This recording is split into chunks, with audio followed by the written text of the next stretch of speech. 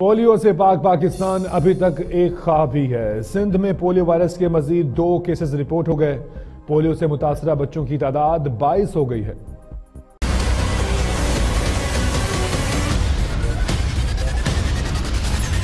मुल्क भर में पोलियो पर काबू ना पाया जा सका। इमरजेंसी ऑपरेशन सेंटर सिंध ने सूबे में दो नए पोलियो केसेस की तस्दीक कर दी।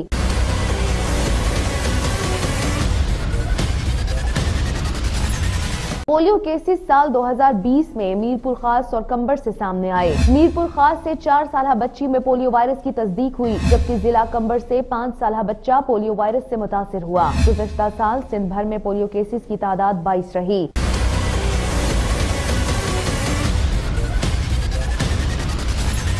खैबर पख्तूनख्वा में भी टांक से दो, बन्नू और डीआई खान से एक एक केस रिपोर्ट हुआ। सूबे में पोलियो के सामने आने वाले केसेस की तादाद अड़सठ हो गई है, जिसके बाद मुल्क भर में पोलियो केसेस की तादाद 128 तक पहुँच गई।